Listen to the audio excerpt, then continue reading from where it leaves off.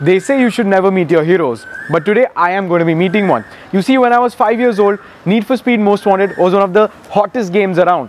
And just like any other impressionable 5 year old, it started my current addiction for cars. And today I am going to be meeting one of the starter cars in Need for Speed Most Wanted, which is this the Toyota Altezza or the Lexus IS200, either way you look at it. This is Auto Culture, this is Soham Saraf, and welcome to the Drivers Hub.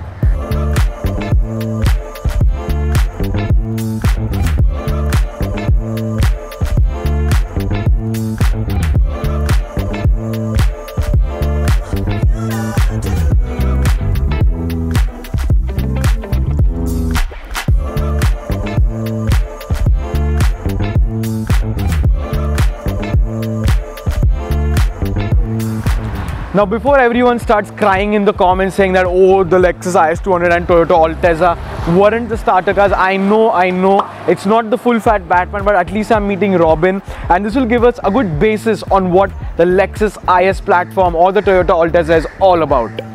The Toyota Altezza or the Lexus IS was Japan's answer to cars like the BMW 3 Series and Mercedes C-Class.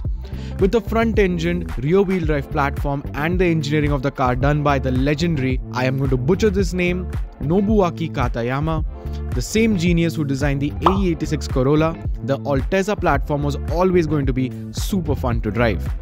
The Altezza and the Lexus IS came in a bunch of variants starting from this, the IS200 which got the 2-liter 3SGE which was a NA inline 4. It also got the 1G FE which was a 2-liter inline 6 and the Holy Grail which was the 2JZ GE which was a 3-liter inline 6 which was of course shared with the Toyota Supra. Now when people say JDM, they claim that their Honda City VTEC is JDM or something like that. Well no, your Honda City VTEC is not JDM, whereas this is a proper JDM. The owner has to import parts from Japan to maintain this car and it's a whole hassle. But I mean just look at it. It's one of the most simple looking yet most beautiful and elegant looking cars around. And, and I mean even after almost 20 years, it still looks timeless I would say. This car has been fitted with the RS kit from factory. It is not any sort of aftermarket body kit and that's why the fitment is so great. And I just love the classic three box design that this car comes with. It just looks elegant. It just looks simple. And it's running on some really nice Lenso wheels. And overall it's just a very nice looking car. It has some key elements like when you head towards the back you have that classic four dot kind of headlight style that uh, Lexus and uh, Toyota had come up with in the early 2000s which is very iconic for this car. And overall I mean I just can't stop saying it. It looks very elegant and timeless People loved the design of the car so much with its distinct rear taillights, aggressive yet elegant front end, and almost perfect proportions that it was awarded Car of the Year in Japan in its debut year. hop into the Altezza and the first thing that you notice is all of the Japanese writing around the car. You have one over here near the gear selector and this little remote over here. So this little remote is actually uh, used for the GPS navigation system which comes in the Altezza and in the UK it was a 2100 pound option which means in around today's day and time it's around 250,000 rupees just for a GPS navigation system. Uh, apart from that the steering wheel is also shared with the Supra but whereas the Supra got the Toyota logo in the middle on the uh, steering wheel you have the Altezza logo in the middle. Uh, in the instrument cluster you have a very simple instrument cluster. On the left hand side you have your rev counter. In the middle you have a very fancy looking speedometer. And on the right hand side you have your gear shift indicator uh, which shows you which gear you're in. And you have your fuel meter. Overall the cabin is a very simple cabin just like the car from the outside. And I think so I need to stop blabbering and take it for a quick spin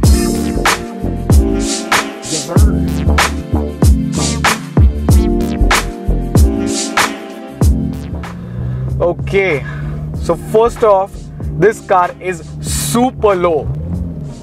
And since this is a naturally aspirated engine, you can really, really feel the raw character of this engine. And this 2 liter uh, inline 4 engine sounds amazing. And especially with this MagnaFlow exhaust system, which has been developed by MagnaFlow and fitted by CS4 Performance. Give it a little revs. Sounds absolutely glorious.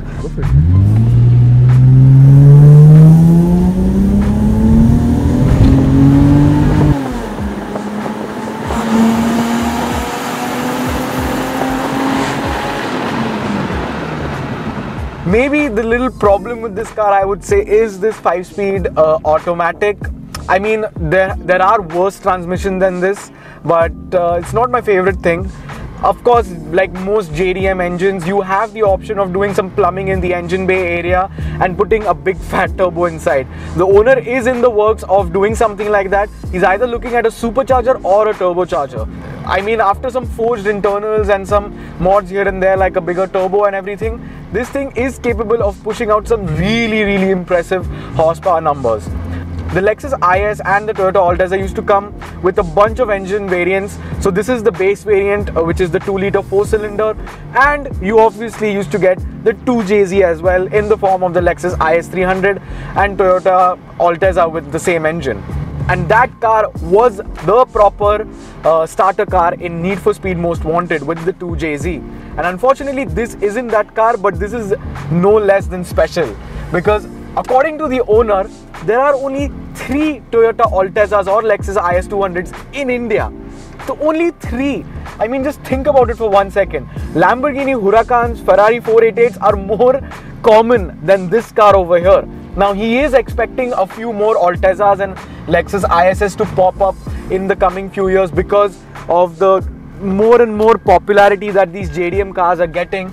But I mean, the fact that you can argue that a old JDM car is more rare than a proper thoroughbred supercar is absolutely insane.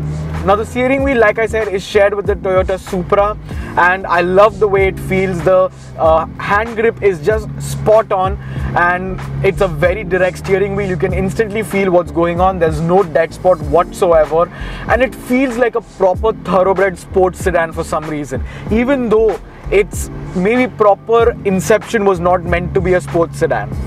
Well, if you find one, which I'm pretty sure you won't because there are only three in the country as of now, uh, you should really go put the money and just buy it. It's just an amazing car. The tuning potential in this thing is just endless, like any other Japanese car. Maybe the one little problem that I have with it is probably this 5 speed automatic, but I mean, it's not very difficult to swap in a 6 speed manual transmission uh, from a different Toyota into this car. So that's not a problem at all. And you put probably 10 12 lakhs, which sounds like a huge figure, and if you put that in, you have a car which is going to be, I guess, 500 horsepower. So that's going to be absolutely insane if the owner is able to do something like that. And on that bombshell, I would like to say thank you so much for watching. This is the Toyota Altezza. Give Yash Sawant 19 on Instagram a quick follow because he's the owner of this car and he keeps on posting regular updates on this. I'll see you the next one now.